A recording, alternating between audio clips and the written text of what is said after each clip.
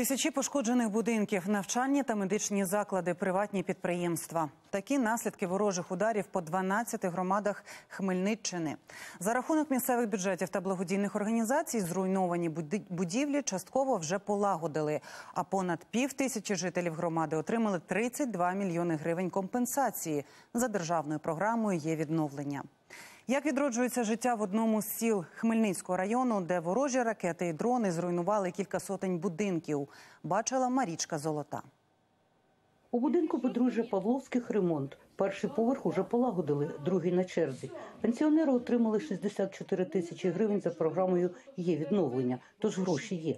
Тут в тій кімнаті теж. Отак, бачите, повиривало все повністю. І багети, і потолок. Торік у травні оселя пенсіонерів виглядала так. Міжкімнатні двері, скло вилетіло. Ось що скло лежить. І рамка. А оце вікно. На балкон двері вибило, виламало. Тоді рашисти вдарили кількома ракетами по мирному селу. В хаті все тако, вердном. Вісім вікон пошкоджених, простінок між кухнею і залом, штукатурка з обох сторін вилетіла. Під час цієї атаки у селі було пошкоджено майже шість сотень будівель. У відновленні допомагали і благодійні організації, і рятувальники. Біля клубу е, різали людям стекло, стеклили вікна, давали USB, шифер. Насамперед ладнали дахи і закривали вікна.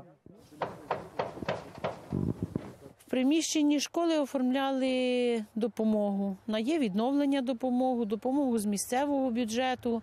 Е, Ну, допомагали оформити документи, довести їх до ладу. Тоді селянам виділили понад 5 мільйонів гривень із місцевого бюджету. Нині всі господарі вже кошти отримали.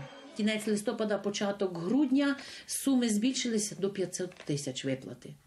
І залежно від пошкоджень, от дивлюся, є і 411, і 240, і 118.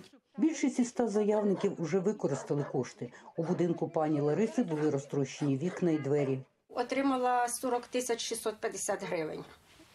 Зробила двері, три вікна, цемент, пісок, ну на обробку, тому що то треба було все так не цей, краска, побілка.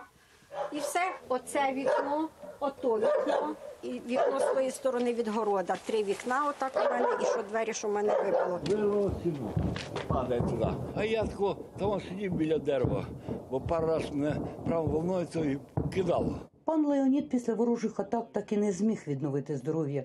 Будинок допомагає ремонтувати син. Що займався син? Купляв за свої гроші, що я їх не там купляв, поставив вікна. А от пилораму, магазин та кафе у селі досі не відновили. лопли дубові балки і пошкодили перекриття нам. Е, Основне таке, що саме основне, це нам стіни повибивали. Руйнування значні, тож родина планує подати заяву на допомогу. Я не подавала на відновлення, на програму відновлення, тому що я думала, що підприємцям не будуть давати. Втім, шанс отримати кошти є. власники комерційних приміщень можуть внаслідок пошкодження їхнього майна також звертатись за програмою є відновлення, подавати свої заявки. Але треба розуміти, що пріоритетно будуть розглядатись і е, призначатись до виплати заявки е, саме е, внаслідок пошкодження житлових приміщень.